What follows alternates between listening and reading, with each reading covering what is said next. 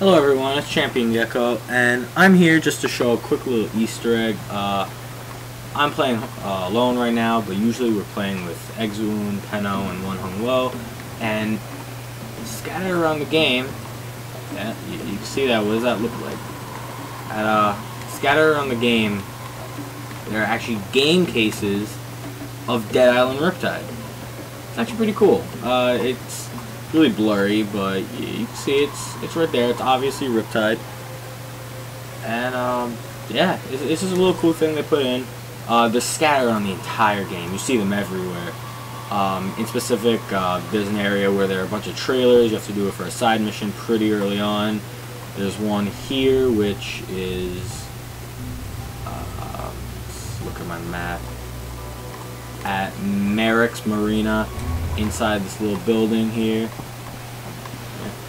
Right, inside this little building. You can just come in here, behind the counter, it's an easy one right there to find. Uh, but yeah, it's just, just a little cool Easter egg uh, I guess uh, Techland or Deep Silver, I think it's Deep Silver, put in. Um, yeah, so have a nice day, and uh, please watch our uh, co-op walkthrough of this game.